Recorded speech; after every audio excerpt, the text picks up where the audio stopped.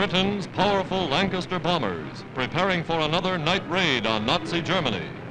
Raids calculated to smash the heart of the Nazi war industry. Away and over the sea they roar, loaded with bombs. Each bomb big enough to blast an area of 10 city blocks. Coming in over the target. Tonight it's Essen, and the camera records the destruction.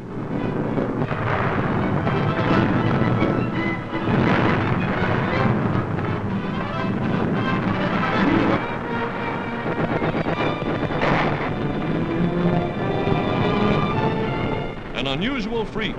A bomb is hit by anti-aircraft fire and explodes in midair, falling to Earth like a fiery comet.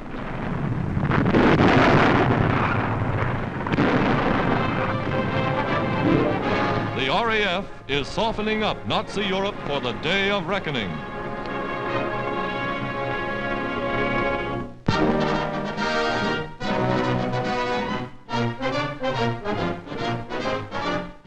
More warships for the United States Navy.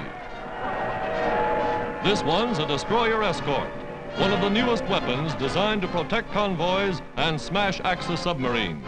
And another of the same type is ready for the sea. American shipyards that once took many months to build a ship are now breaking all records, from keel to launching within a matter of weeks.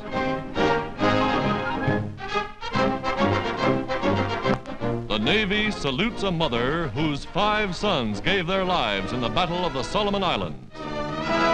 A new destroyer is named in their honor. Christened by mother, the Sullivans goes down the ways, a sleek new destroyer to avenge the loss of Mother Sullivan's sons. This is the spirit of America at war.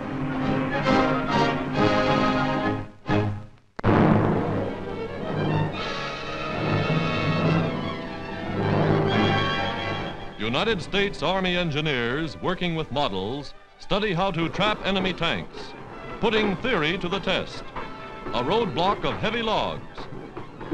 Now a tank driver pits the power of his vehicle against the efficiency of the engineers.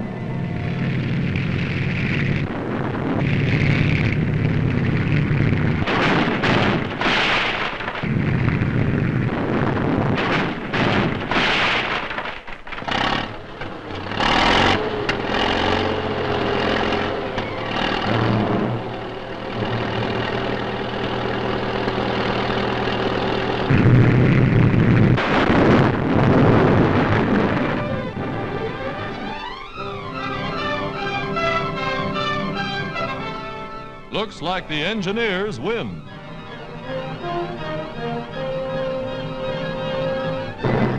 The Army also has specially constructed roads to test trucks and guns.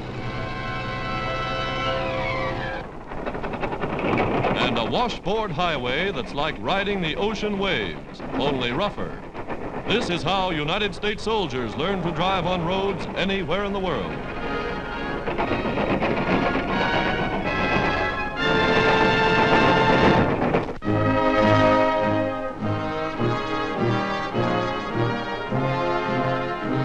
Huge throngs pack Hollywood's famous Bowl to see and hear Madame Chiang Kai-shek. Norma Shearer and Mary Pickford head a roster of cinema celebrities here to welcome China's First Lady.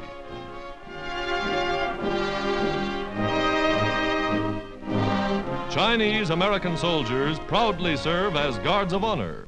Spectacular tribute to Madame Chiang and her cause. A pageant staged by Chinese living in California.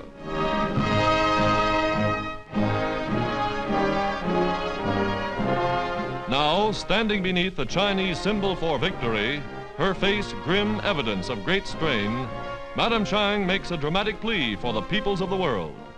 We shall not permit aggression to raise its satanic head and threaten man's greatest heritage, life, liberty, and the pursuit of happiness for all peoples.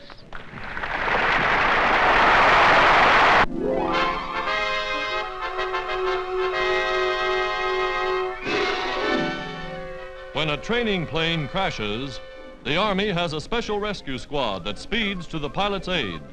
Soldiers in sailor suits.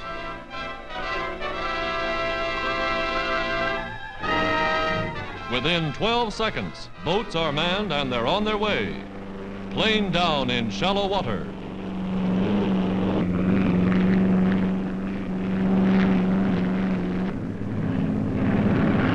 And the sea soldiers plunge to the rescue.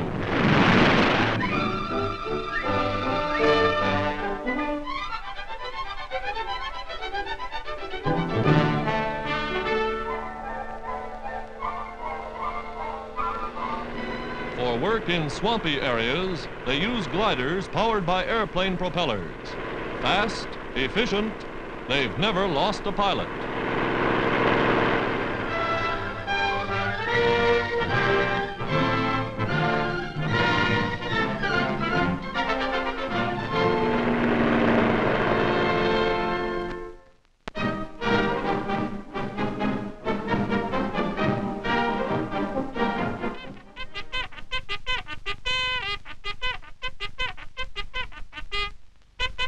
Reveille for the Army's youngest mascots.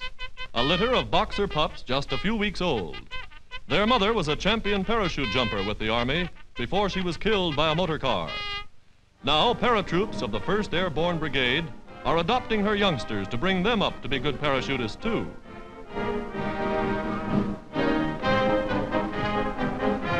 A warm pocket in the trouser leg is the safest, most comfortable spot. The little fellows don't know where they're going, but they're on their way.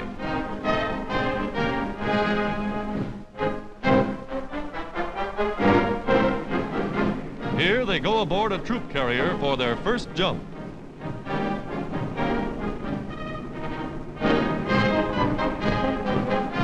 And down they float to earth with never a whimper. Real parachutists, say the paratroopers. The highest flying pups in the Army.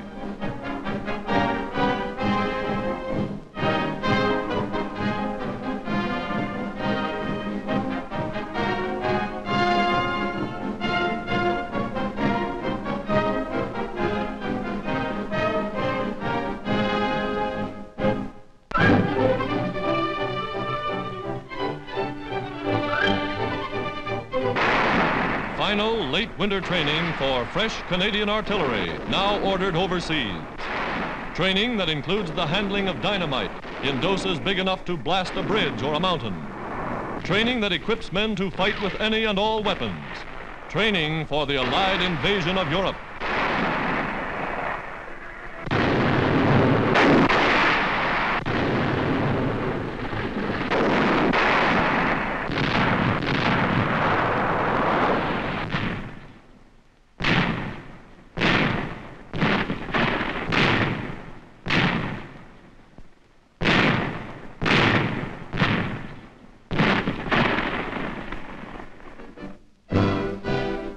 Now, ready to leave for embarkation points, they go to swell the increasing numbers of United Nations forces gathering for the big thrust upon the Nazi-held continent. Volunteers making a journey more than 3,000 miles from home to fight for a cause they know is just.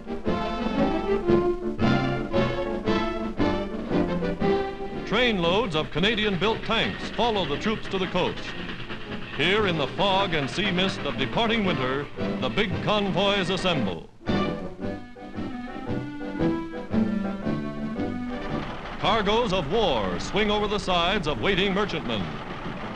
Trucks from Ontario, scout cars from Quebec, lend-lease equipment and supplies from the United States. Working 24 hours a day to meet sailing time, the men of the Merchant Navy are doing their jobs well.